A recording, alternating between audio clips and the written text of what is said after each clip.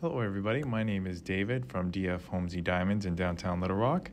Customer came in with this gemstone. They didn't know what it was, and they asked me to assess it. So what we got here is the refractometer. The refractometer measures the refractive index of a gemstone by bending light passed through the back. We use this by using a refractive index solution. We send light through the back of the refractometer as it bends with a little bit of solution, not a lot. As you can see, I'm tapping it out.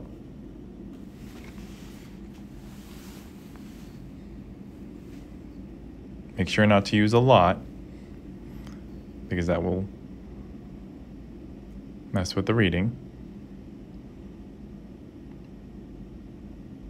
Close the top so no other light source goes through except from the back.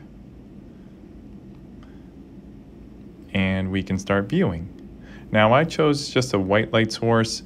Um, monochromatic light is also used in some cases where you want to refine your readings, but this is good enough for now. And if you look really, really close, you're looking around the 1.6 mark. You can see some bluish green lines where it kind of cuts off at 1.61 and then goes almost to 1.62. That is exactly what we're looking for.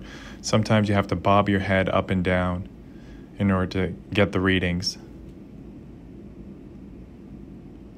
But as you can see, clearly 1.61, almost 1.62.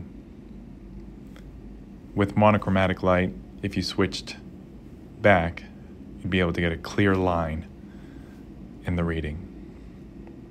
But this is very helpful. Now I take this information and we have to figure out what to do with it.